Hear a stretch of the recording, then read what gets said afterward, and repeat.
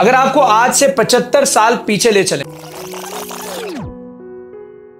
और हिस्ट्री पर थोड़ी सी नज़र डालें, जहाँ आपको मालूम होगा कि 1948 यानी 1948 में डॉलर की कीमत तीन रुपए इकतीस पैसे हुआ करती थी, जो कि आज के डॉलर के रेट्स का सिर्फ़ तीन फ़ीसद है। ये बात है साल 1944 की, जब अमेरिका की स्टेट न्यू हैम्सफर में चवालीस ममालिक ने मिलकर यह फैसला किया कि डॉलर को आलमी मयारी करेंसी का दर्जा दिया जाएगा। और इसी माहे और इसी कवेनेंट के दौरान करेंसी तबादले का निज़ाम भी तय पाया। ये वो वक्त है जब वर्ल्ड बैंक और आईएमएफ ने भी जन्म लिया। इस कवेनेंट में दोस्तों ये तय पाया कि जो भी इंटरनेशनल बाइंग आप करेंगे, यानी जो भी मुल्क किसी दूसरे मुल्क से कुछ खरीदारी करेगा बैन अवी खरीदारी होगी। तो खरीदे गए मसनुआत जो है, उसके बदले में आप रकम जो है वो डॉलर में अदा करेंगे। इससे पहले सोने के ज़रिए जो है करेंसी तबादले को इवेल्युएट किया जाता था। और इस माहे को, यानी इस कवेनेंट को, जिसकी मैं बात कर रहा हूँ, इसको ब्रिटेन वुड्स एग्रीमेंट का नाम दिया गया। दोस्तों, क्या आप जानते हैं किसी भी मुल्क में उसकी अपनी करेंसी के एवज डॉलर का रेट क्या होता है? ये उस मुल्क के reserve export foreign direct investment और फॉरेन रेमिटेंस डिसाइड करती हैं। और यहाँ मैं आपको क्लियर कर दूँ कि ये वो चार सोर्सेज हैं जिसके ज़रिए मुल्क में डॉलर आते हैं। इसके अलावा दो फैक्टर और भी हैं जो डिसाइड करते हैं कि डॉलर का रेट क्या रहेगा। लेकिन उसके ज़रिए डॉलर मुल्क से जाते हैं, यानी आप खर्चा करते हैं, आप एक्सपेंस करते हैं। और वो दो पॉइंट्स है दोस्तों सर्कुलर डेट्स और इम्पोर्ट पेमेंट्स जो पहले चार पॉइंट्स मैंने आपको बताए थे, जिसमें रिज़र्व शामिल हैं। रिज़र्व का मतलब है कि किसी भी मुल्क के सेंट्रल बैंक में इन शेप ऑफ़ डॉलर कितने एसेट्स मौजूद हैं। दूसरा पॉइंट था एक्सपोर्ट जिसका मतलब है कि आपके मुल्क की एक्सपोर्ट यानी आपके मुल्क की बरामदात कितनी रही है। यानी मेड इन पाकिस्तान की जो मसनुआत हैं, जो प्रोडक्ट्स हैं, वो आपने कितने ममालिक को कितनी क्वांटिटी में सेल की जिसके एवज डॉलर जो है वो मुल्क के अंदर आया। तीसरा था फॉरेन डायरेक्ट इन्वेस्टमेंट यानी जब गैर मुल्की सरमायाकार जो है, वो हमारे मुल्क के अंदर इन्वेस्ट करते हैं, सरमाया करते हैं तो उसके ज़रिए भी डॉलर पाकिस्तान के अंदर आते हैं। और चौथा है फॉरेन रेमिटेंस यानी कितने लोगों ने, कितने पाकिस्तानी ओवरसीज ने पैसे जो है वो पाकिस्तान में भिजवाए हैं। ये चार वो सोर्सेज हैं जिसके ज़रिए पाकिस्तान जो है वो डॉलर कमाता है। दोस्तों, दूसरी तरफ़ मैंने आपको बताया था इम्पोर्ट पेमेंट्स और सर्कुलर डेट्स के हवाले से। सर्कुलर डेट्स वो है जो बैरूनी कर्जे हमने ले रखे हैं।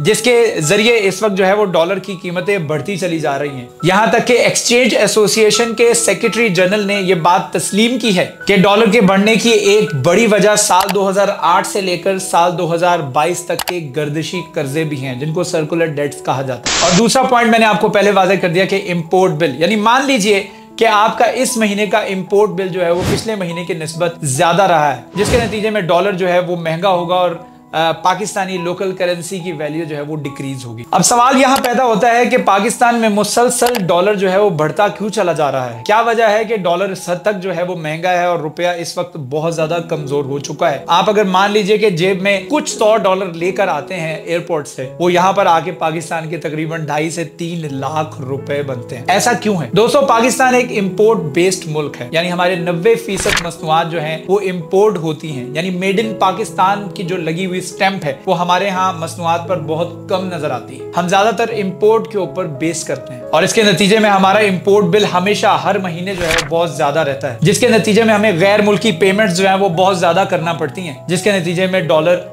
इंटर बैंक में जो है वो बढ़ता चला जा रहा है। अब सवाल ये पैदा होता है कि इंटर बैंक और ओपन मार्केट के डॉलर्स में क्या फ़र्क है? और आप देख रहे हैं कि आजकल जो है वो ओपन मार्केट के अंदर डॉलर जो है अट्ठाईस से तीस रुपए नीचे गिर चुका है और इंटर बैंक में महज सात रुपए डॉलर जो है वो कम होता दिखाई दिया है। इसकी एक बड़ी वजह भी आईएमएफ की शर्त है। जी हाँ दोस्तों आईएमएफ की जानब से ये शर्त हमारे यहाँ रखी गई है कि इंटर बैंक और ओपन मार्केट के दरमियान का फ़र्क जो है उसको वन से भी कम किया जाए, जिसके बाद हुकूमत मुतहरक हुई है और इस वक्त डॉलर को कम करने के लिए कोशिशें की जा रही हैं। और सबसे बड़ी कोशिश जो है वो ये है कि डॉलर को स्मगल होने से रोका जा रहा है। डॉलर की ब्लैक मार्केटिंग को रोक लिया गया। जिसको इकोनॉमी लैंग्वेज के हवाले से बात करें तो डॉलराइजेशन कहा जाता है। इंटर बैंक रेट के हवाले से बात करें तो डॉलर की इनकम और डॉलर के अखराज ये डिसाइड करते हैं कि इंटर बैंक रेट क्या होगा। जैसे मैंने वीडियो की शुरुआत में पूरा तफसील से बताया कि किस तरह से फॉरेन डायरेक्ट इन्वेस्टमेंट रिज़र्व और इसके साथ साथ जो है रेमिटेंस किरदार अदा करते हैं डॉलर को बढ़ने या कम करने में। में। इन शेप ऑफ़ डॉलर हमारे मुल्क के जितने अखराज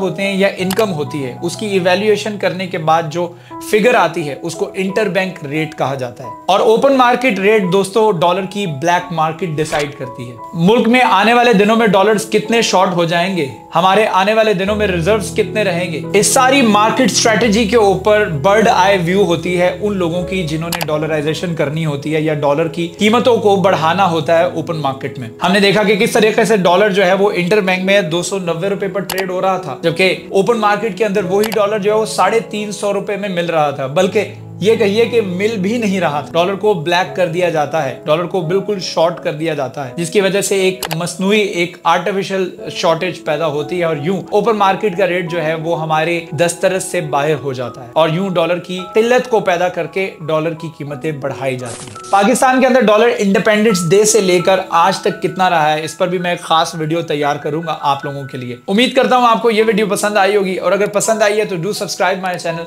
hit the bell icon button ताकि आप तक अपडेटेड वीडियोस भी पहुँचती रहें। Stay blessed